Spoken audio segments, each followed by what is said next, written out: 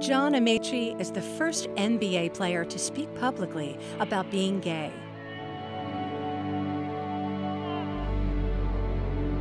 His memoir, Man in the Middle, explores the challenges facing closeted professional athletes. For more information about the 31 GLBT icons, visit glbthistorymonth.com.